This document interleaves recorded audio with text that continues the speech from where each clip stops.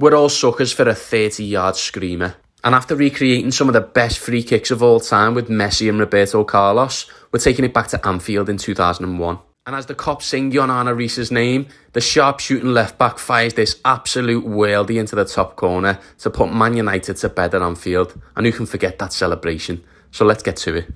This time round, I've decided to go with the celebration instead of the strike. And even though the goal was a thing of beauty, sliding on your knees with your top off after scoring against United is as iconic as it gets. And there we have it. Jon Arne Riise with a moment that every Red will remember forever.